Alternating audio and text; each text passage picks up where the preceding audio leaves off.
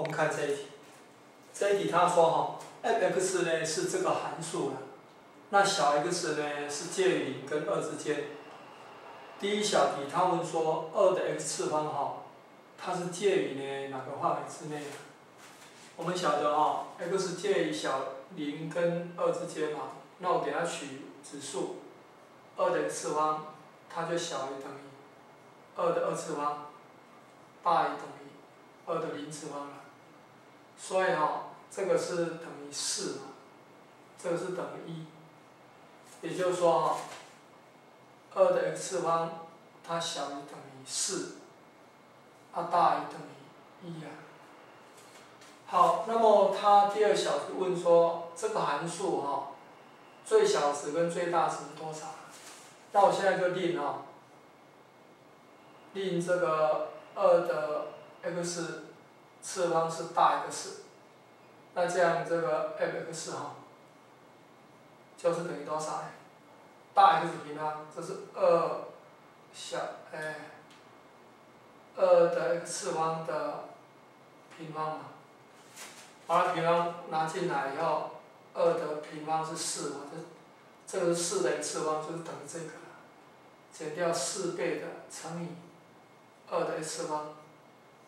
再加三，好，那这个函数呢，我就可以写成大 X 减四大 X 加三。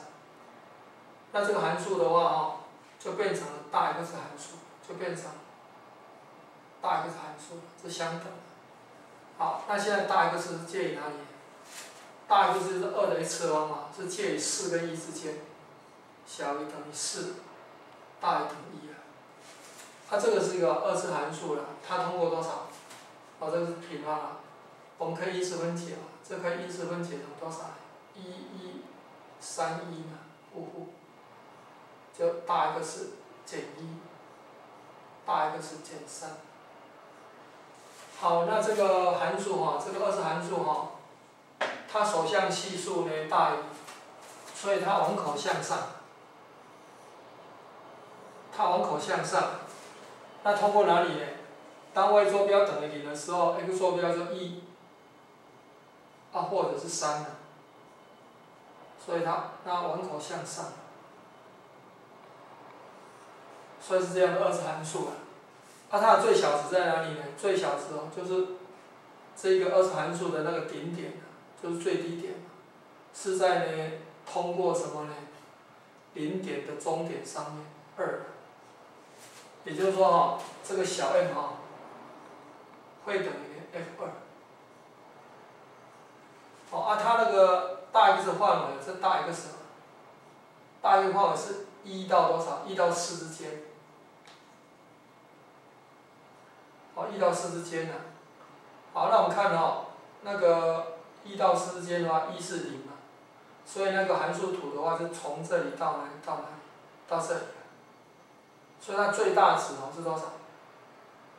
最大值是 f，哎四。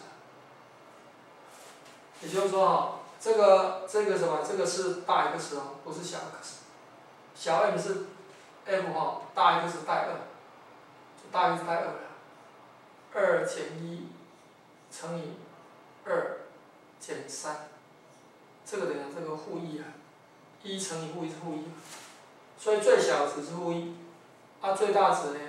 最大值就带四，x，哦啊这个 x 等于等于四，哦大约带四，四减一乘以四减三，那四减一是三嘛？